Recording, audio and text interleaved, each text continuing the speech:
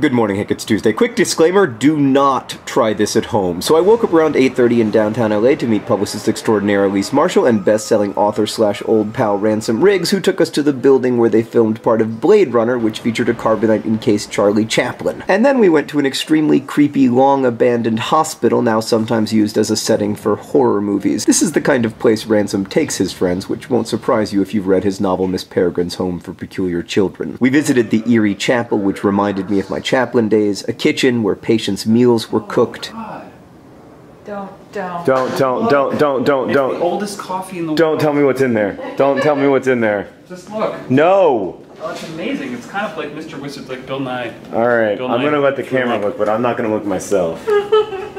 Get a little closer. Yeah, there you go. and there was an endless string of hospital rooms caked with mildew and bird dung. So many of the windows were blown out that it was hard to say for sure whether the place was inside or outside, and I could hear birds singing and rodents scurrying in the ceilings. Like many abandoned buildings, there was evidence of recent squatters, poorly spelled graffiti, nasty, nasty water fountains. But what struck me most were the skeletal remains of dozens of hospital beds. And then we made our way down to the basement, finding the morgue.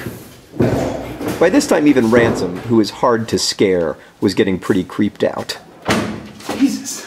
I, of course, am very easy to scare Hank. In an operating room, much of the equipment still there, miraculously unlooted, I saw a figure in the mirror. Oh my god. And about peed myself before realizing it was me. We then found our way to the records room, full of EKGs of hearts that had stopped beating decades ago. Finally, we made our way to the boiler room, the beautiful dead guts of the hospital.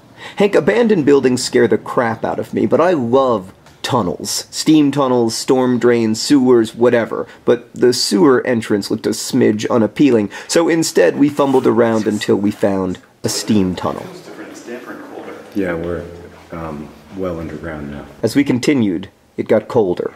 The walls narrowed. Can you give me the light? Does that end? Uh, it's hard to tell. I should have brought my police flashlight. All right, I'm gonna go. Okay. That was gross. Don't trip. That tunnel led to a flooded room, and then to another tunnel, and then to a huge room entirely empty. Except for this bloody bathtub. Horror movie leftover, I hope. By then I'd had enough, and as we made our way up and out of the hospital's bowels, I found myself wondering what the hell I was doing. It's true that such spaces remind us, in a scary but seductive way, of our own temporariness and the relatively short life of all that we build and do, and it's true that the abject darkness of the tunnels made the world outside impossibly bright and alive, but this is also true. It is nice, on a Thursday morning in April, to be a kid for a while, exploring with old friends, never knowing what wonder or terror may await around the corner. And isn't that why we explore and also why we read and watch sports and browse Tumblr and study astrophysics? Whether we're watching horror movies or accidentally visiting their sets, I think we're after the terrifying, awesome, otherworldly feeling of not knowing what lies in wait. Hank, I'll see you on Friday.